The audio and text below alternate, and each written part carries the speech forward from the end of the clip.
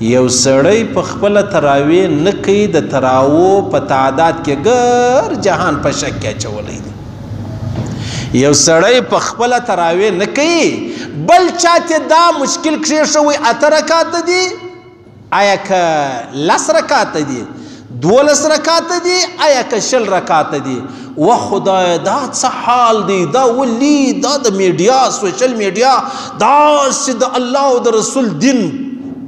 نعوذ بالله نعوذ بالله په شک کې واچوي قسم په خدای انسانان پر دې حریان کو چې یاره د تراوی اسې ګرسسته کنسته سته کنسته مې پرېږدي د خلکو خبرې پرېږدي والله اے والله د خپل رب دې متنفر کې اے د خپل رب په دې نفرت کېږي العیاذ بالله لاره مه پرېږدي خپل خپل لارې په مخه واخلئ د هر چا خبره په غوږ باندې مه نسي عزیزانو که تور دی که سپین دی که خپل دی که پرېدی دی که ښه دی که بد دی که منافق دی که مخلص دی بس هسې د چا خبره راله زه به غوږ باندې ولې باندې کښېږدم پر روډ زه سلام نه وراچوم پر روډ دی سلام نه راچو بیا زه بیان اورم ما اوري دا مکوي ژوند به درته باکي ژوند به درته باکي دا د مناظرو خبرې چې کومې شروع دي دا د مناظرو دا داسې بده خبره د عزیزانو ټول انسانان په شک په شوبه کې واچول قسم د کیا دیوبندیت معلومیږي یا بریلویت معلومیږي یا پنځپیریت معلومیږي یا اشاعت معلومیږي یا سلفیت معلومیږي هاي څه خبره سول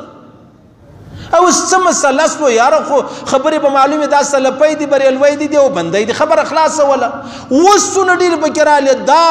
یو سړی به زه خو لا دا خبرو سخته کرکه مې جنې کېږي حنفي یم اول اهل سنه والجماعه بیا د امام اعظم پر مسلک او بیا د دیوبند پر تشریحاتو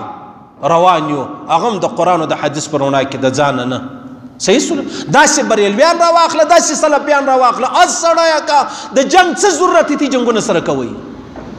او ټول عمر چې سړی په جنگو اخته یې کارونه به جنې پاتې یې کارونه به جنې پاتې یې نو ما درته ویل مال په تراو کې شکمن کاستاو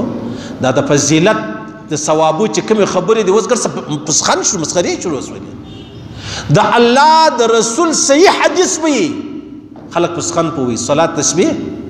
او صلات تسبیح دونه ثواب لري وای کچا دا ثابت کړل اے خدا الله اکبر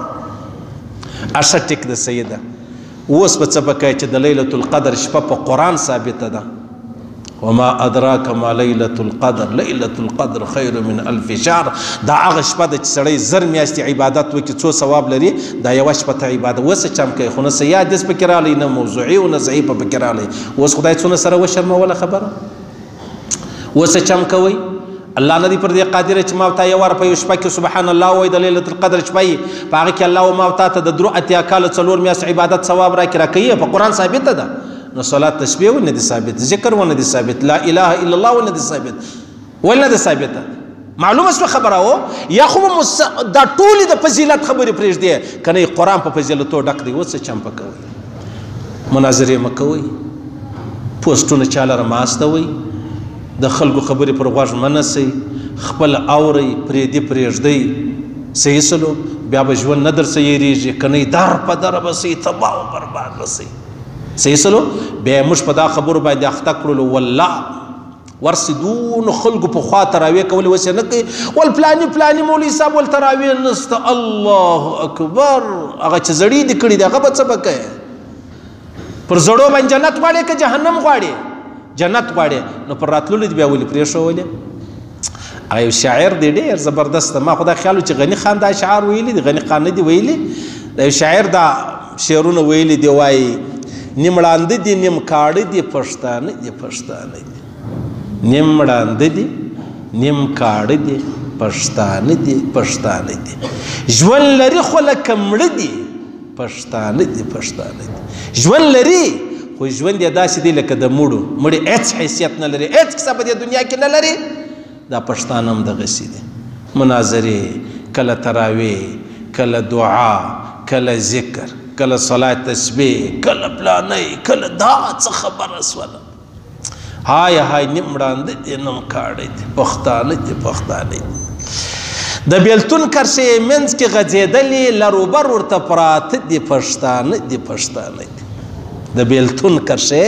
منځ کې غځېدلې نیم الته نیم دلته بېلتون خو وایي جدایي ته ویل کېږي صحیح سلو دغه کرښه په مابینځ کې پرته ده لر و بر ورته پراته دي پښتانه دي پښتانه دا څوک وایي دا شاعر وایي وایي دا چې سر ته مې ولاړ چاړه په لاس دی دا چې سر ته مې ولاړ چاړه په لاس دی دا چې لاندې تر چاړه دي پښتانه دي پښتانه دي خبرو سر خلاصېږي درته والله ما له ډېر خوب راځي پرون ماخستن د جدې سره روان سوم د شپې پر یوه بجه کراچي له رالم بیا پر اته بجې کراچي سره روان سوم نو نیم لس بجې له دلته رالم سیده مسجد ته رالم بیا نیمه یې په جاز کې جوړ کړی نیمه یې دلې جوړ کړی زما یاران نیمه بیده دي ټوله شپه بیده اوس هم دوی له خوب ورځي حاجي خانه کاویش څه وروره دا راپورته کړه سړی